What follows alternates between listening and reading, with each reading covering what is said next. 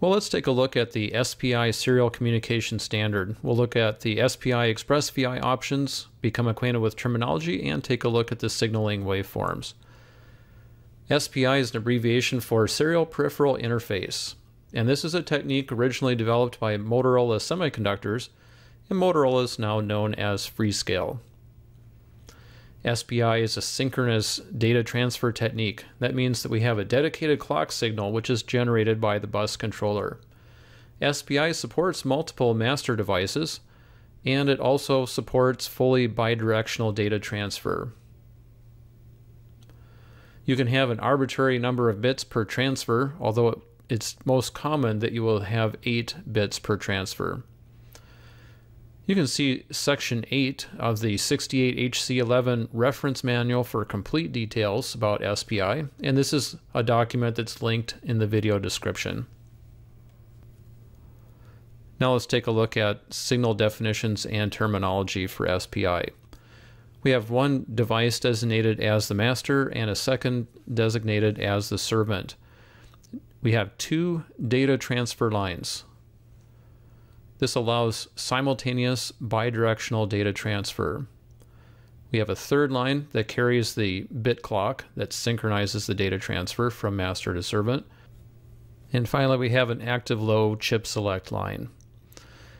Now, the line going from master to servant is called MOSI, master out, servant in. It's an input on the servant device and an output on the master device. This one is commonly called MOSI. M I S O. That would be an input for the master and an output from the servant, often pronounced MISO. Serial clock, SCK. And then finally, we have servant select. Again, this is an active low style signal. And the servant only responds to the remaining three lines coming in when that servant select line is low. If we only have one peripheral device, it's perfectly fine to just go ahead and permanently tie that line low. If you have multiple peripheral devices, however, you'll need one myRIO digital output line for each peripheral. This is how you would handle multiple peripherals. All of the three lines, MOSI, MISO, and serial clock, are connected together, and then we use dedicated digital outputs to serve as servant select lines for each peripheral.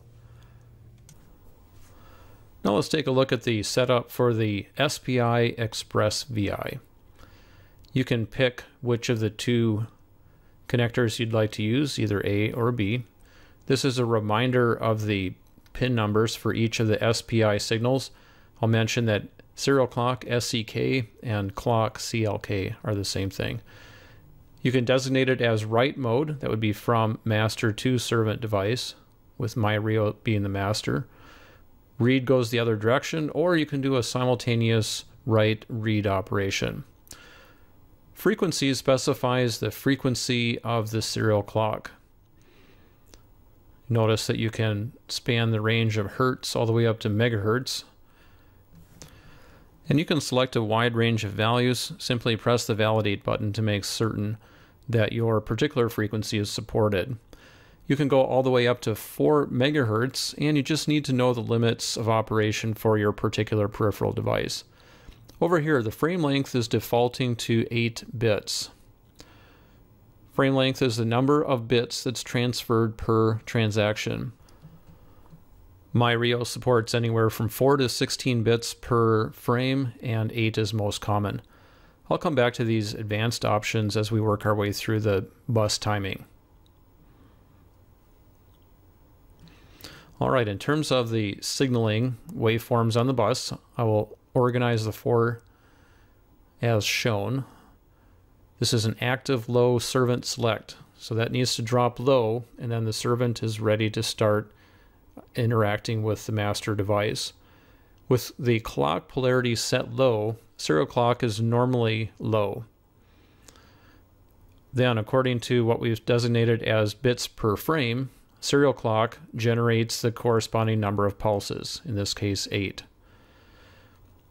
Clock phase is defaulting to leading right now, and that's the leading edge of serial clock. That indicates when the MOSI signal is stable.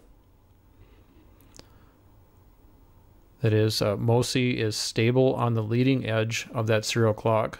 We could also designate trailing if you wanted to. Some devices require the timing to work that way.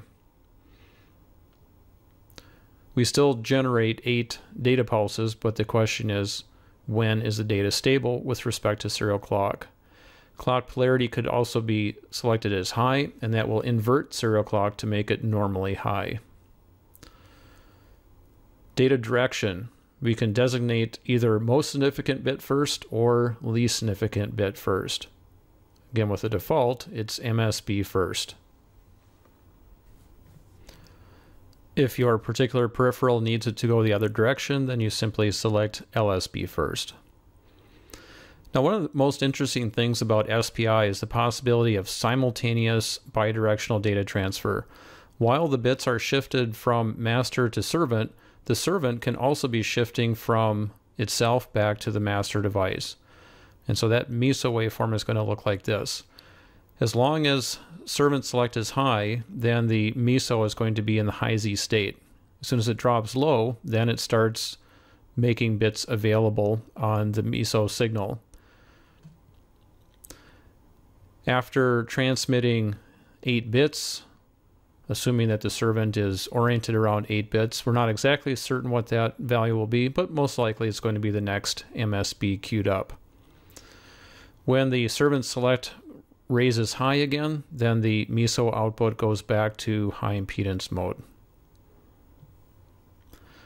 These settings are most common. I suggest that you go with these defaults first and then see your data sheet for the peripheral to find out if you need something different.